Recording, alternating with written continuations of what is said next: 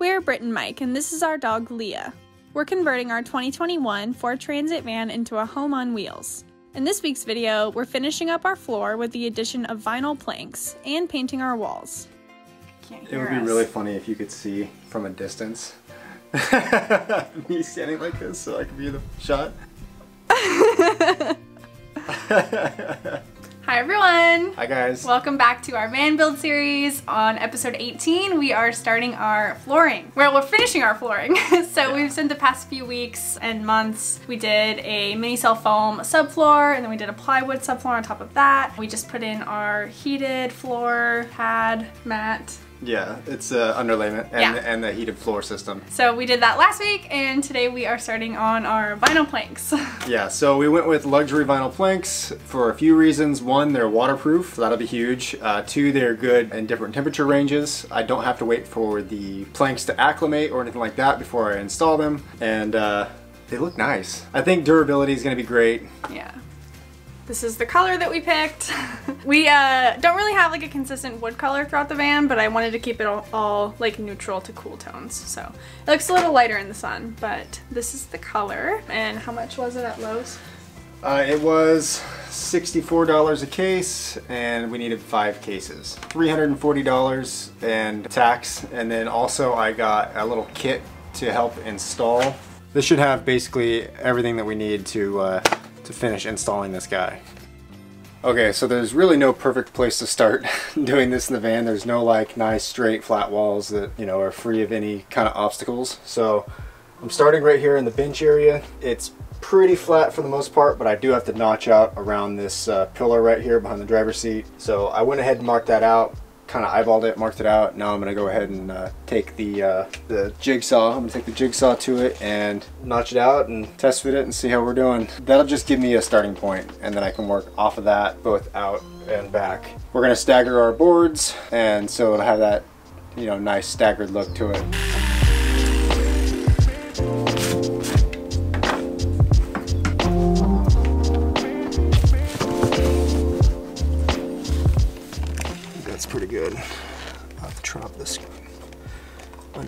Stuff that's sticking up here. All right, one down. How many to go? Uh, a lot. All right, guys, so we got the first one in place, and my plan now is to work back along the driver's side of the van, and that way I can work around the wheel well and the pillar and you know all the curvature and stuff like that, and then hopefully make it easier on myself working as I come this way. So the whole middle should be relatively simple and then it's going to be more complicated once I get to the passenger side wall. That's the plan. Hopefully it works out. All right guys, quick update. I've gone ahead and taken care of all of the boards that go along the wall here. So all of the, you know, crazy cuts around the wheel well and whatever this is. That went relatively smoothly. It did take a little bit. I did burn through one jigsaw blade already. the stuff is pretty hard on your uh, jigsaw blades if that's what you're using to cut it. There's multiple ways to cut it though.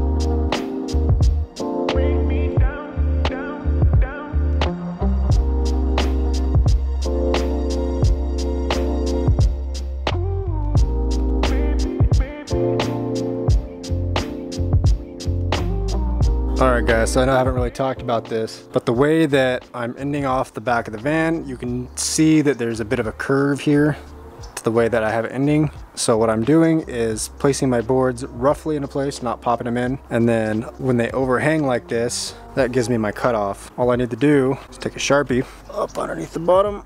Now I know exactly where I need to cut it off to match this curvature. And then uh, when I cut these boards off, every other one, the excess that hangs off is actually the part that goes at the front. So I think this piece from here to here is probably about 21, 22 inches or so. And then the piece at the front, it, all the way at the front is 24 inches. So everything that I cut off here, I just cut off just a little bit more, squared off, then take it to the front and it matches up perfectly. So I'm not wasting any extra pieces here while I do this.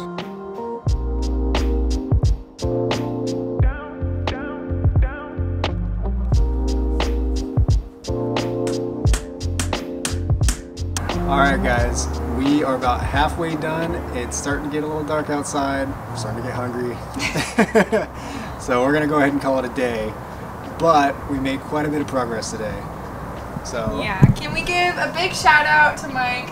I was working most of this day while he was working out here, and I'm I'm thoroughly impressed. Everything in the build seems to take tw- twice as long as we think it is. yeah, So maybe it's just me. I'm no, I'm thoroughly impressed with how fast you got all this in today. yeah, so there was a lot of cutting to do and a lot of fitting things in, and it takes a little get a little getting used to to like mm-hmm. use the tap block and like tap the pieces in just right. But once I got it down, it was it's not that difficult. But like the first five or six pieces, I was in here cursing like, what what am I doing wrong?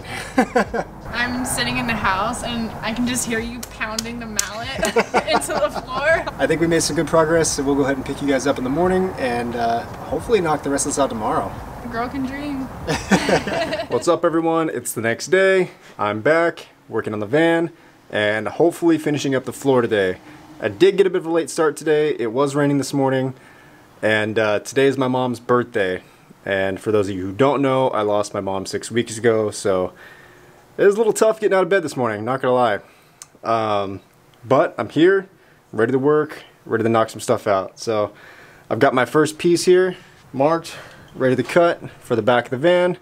So I'm gonna go ahead and cut this off and then use the uh, excess as the next board, uh, the next plank for the front of the van. Yesterday, before I left, I kind of talked about how difficult it was to install the floor before I figured out exactly how to do it. Um, basically, I wasn't overly familiar with how to use a tapping block and uh, the most effective way to do that. Now, I'm still not 100% sure that this is the absolute right way to do this, but this is the way that I've had success doing this. Basically, what I do is lock in my next piece into the you know where I'm trying to put it, but I leave a little space for the lip here. So I try to leave a little space for this lip, um, so it's not locked in on the end, but it'll be locked into this next one here.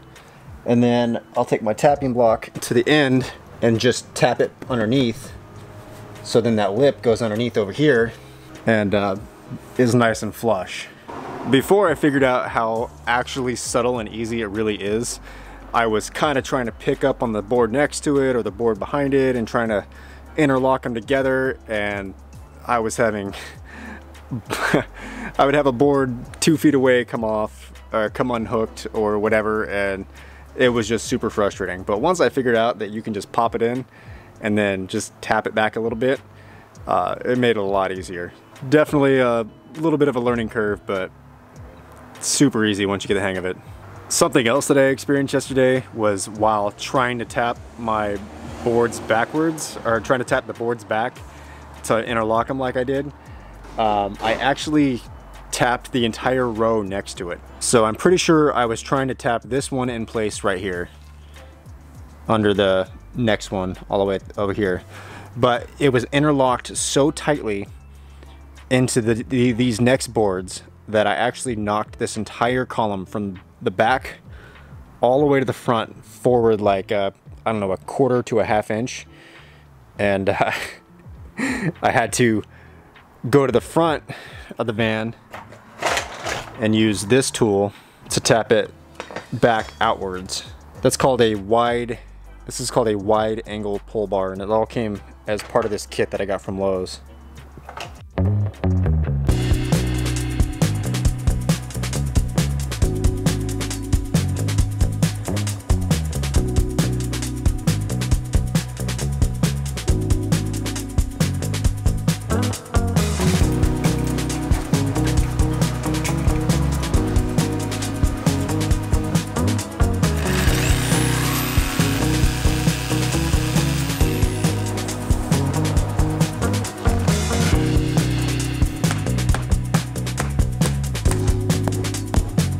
Guys. So I'm getting ready to do my first tough cut on the passenger side of the van. I'm starting at the front, right around the step in, and uh, what I'm gonna do is measure this dead space here and create a little outline of where I need to do my cuts.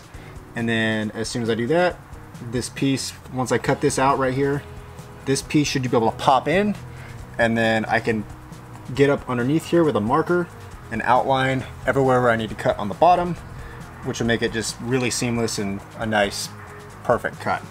So as long as I get this corner right, which I should, we should be good.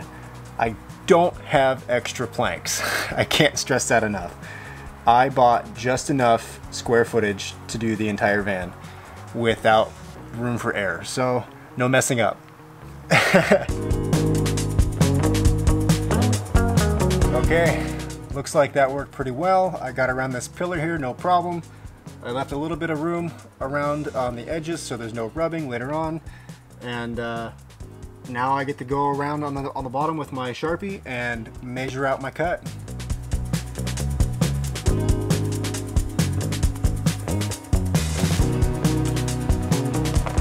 It's kind of hard to see. I've seen some people use some paint pens or chalk pens to draw on these to make it easier to see your lines. I think that's definitely a good idea.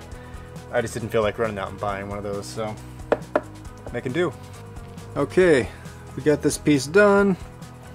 I think it looks pretty good. I think I did a good job of matching the step in and even notching this corner out. I know this corner is a little funny, uh, the way that this comes out like this.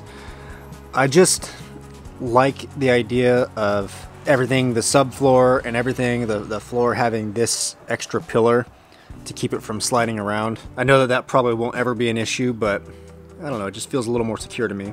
Now we get to go ahead and continue down this way. I've already got this piece kind of faked into place here.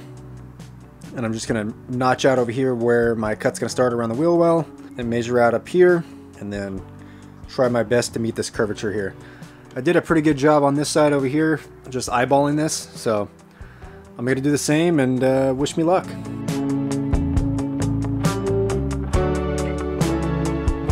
Okay, so I went ahead and finished up that row that I was working on. As you can see behind me, it's done from the back all the way up to the front. I think it looks pretty nice. So with that, I think I'm gonna go ahead and call it a day.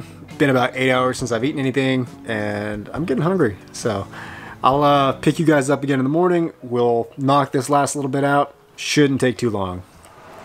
Hi everyone, it is Wednesday and it is the last day of our floor. I, uh, I went home last night, I ate dinner, I feel I feel much better. So we're ready to knock out the rest of this and uh, hopefully it doesn't take very long. I mean, I, I've only got a few pieces to cut, but they are all custom, all very small pieces, so wish me luck. I laugh so hard at that clip. I haven't eaten, like, like your boss didn't let you take a break or something. I have a tough boss, guys. I wasn't even here.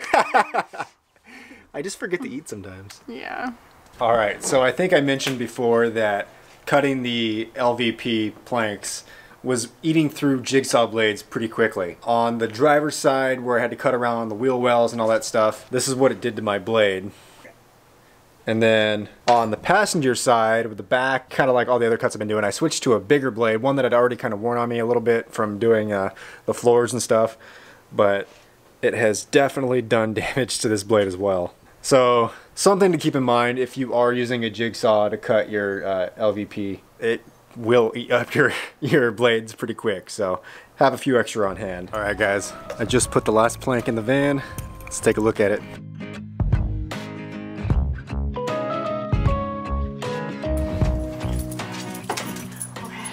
Oh my gosh, Leah. Do you like it? Wow. What do you think? I like it. yeah, I think I'll keep it. no, I'm pretty happy with how it came out. I think I'm just gonna put some caulk around all the edges.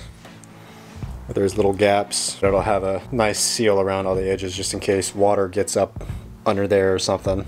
High five. Good job. Hi everyone, it's the next day. As you saw yesterday, Mike finished up the floor and today we have our painting clothes on. We're gonna paint our walls. Yep, so uh, we've got some primer to put down first and then we're gonna put a couple coats of latex based paint and uh, that should give it a nice smooth finish. But before we start all that, got a lot of prep to do.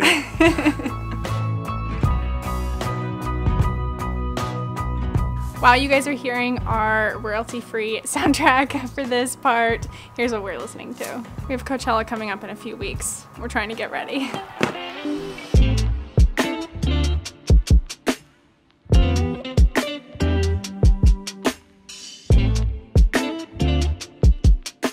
We're all taped up. We got our bucket of primer down there. I am on little brush duty. Mike is on big roller duty. We're gonna prime the walls and go get some lunch, hopefully.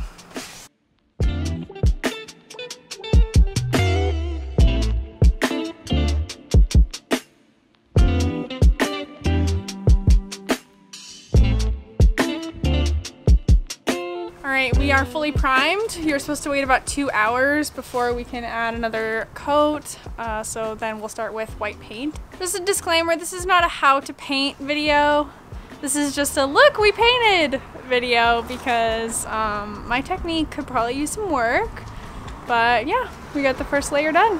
All right, it's been a couple hours. The uh, primer coat dried. We had our late lunch and it's 5.30. We're gonna try to finish this in an hour so we can go home for dinner.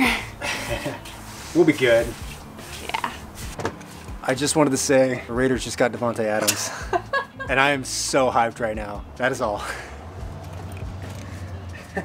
Support Mike in the comments if you're also hyped. Thank you. Seahawks just lost our quarterback, so I'm not sharing his excitement.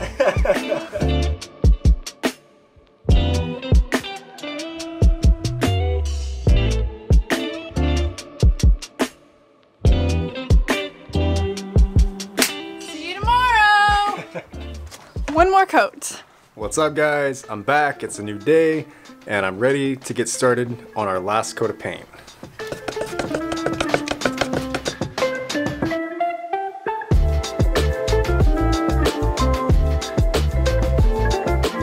What's up guys? We left the paint prep up over the weekend, so all the tape, all the plastic, all that stuff is still up. The paint's completely dry. It's looking pretty good. We're gonna go ahead and take everything down and see what it looks like.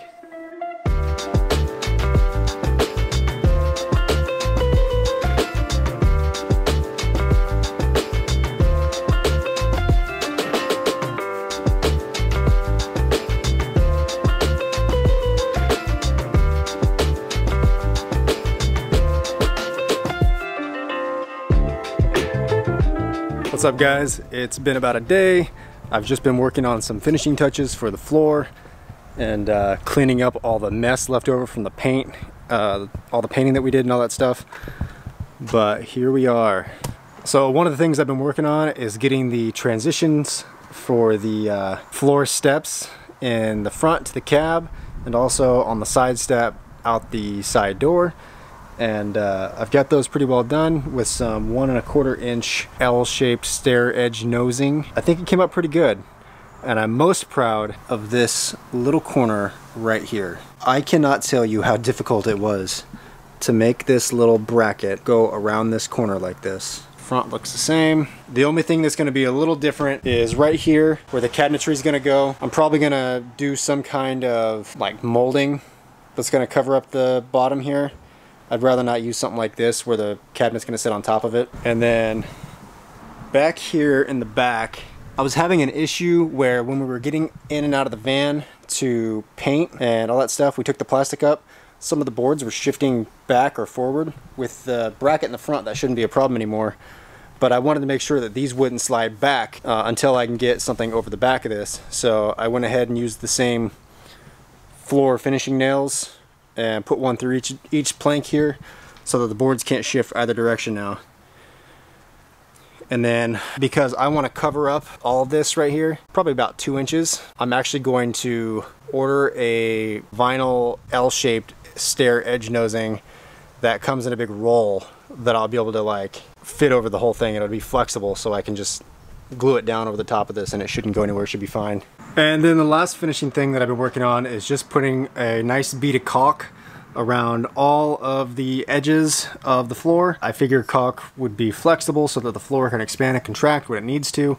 but also will be nice and watertight. Just in the event that something does happen, there's a major leak or something like that from, a, from our water tank or whatever, all that water should stay above our waterproof floor and not get into the uh, subfloor. Alright guys, I think that's going to do it for this video. Really happy with the progress that we've made.